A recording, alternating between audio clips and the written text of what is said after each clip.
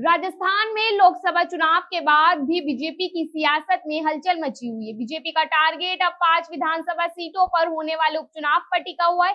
इधर बीजेपी के पूर्व प्रदेश अध्यक्ष सतीश पूनिया को हरियाणा का बीजेपी प्रभारी बनाया गया। राजनीतिक जानकारी से पूनिया को राजस्थान की राजनीति से दूर करने का मतलब निकाल रहे हैं। वहीं भाजपा के पूर्व नेता प्रतिपक्ष राजेंद्र राठौर को लेकर भी जमकर सियासी चर्चा बनी हुई। नमस्कार, मैं शेख जोया, आप देख रहे हैं द नगरी न्यूज़।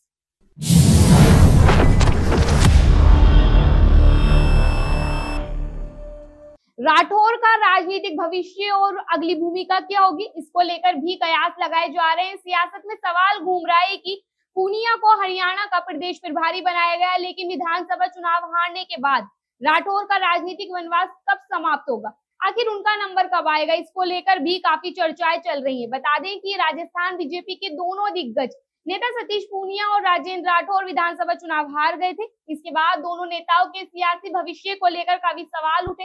कई तरह की राजनीतिक चर्चा भी चली। इस बीच राठौर और पूनिया दोनों बीते दिनों दिल्ली में पार्टी हाईकमान के पास अचानक मुलाकात करने पहुँची।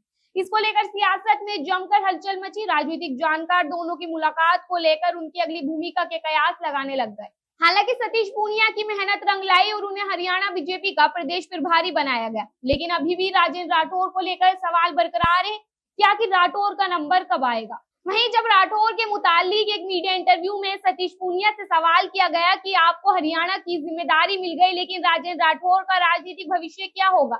इस पर पूनिया बोले कि आजकल की राजनीति तीन सौ पैंसठ दिन की हो गई है। कोई भी व्यक्ति खाली नहीं रहता। इसके लिए पार्टी उस व्यक्ति की योग्यता के अनुसार उसे ज़रूर काम देती। उन्होंने संभावना जताई कि राठौर को भी पार्टी किसी भी प्रकार का समायोजित ज़रूर करेगी। यानी पार्टी राठौर को भी कोई ज़िम्मेदारी ज़रूर देगी। नहीं, ये भी कहा जा रहा है कि राठौर को बीजेपी उपचुनाव में मैदान में उतार सकती है।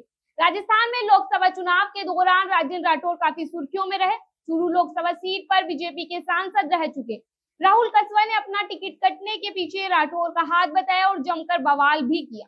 चुनाव परिणाम आने के बाद राठौर को राहुल कसवा समेत भाजपा के सुमेधानंद सरस्वती, देवी सिंह भाटी समेत बीजेपी के नेताओं ने भी जमकर घेरा। इन नेताओं ने भी राठौर को कसूरवार बताते हुए कहा कि चूरू सीट की वजह से ही बीजेपी को अन्य सीटों पर भी नुकसान पहुँचा है। ऐसे तमाम और खबरों के लिए देखते रहिए द नगरी न्यूज़। शुक्रिया।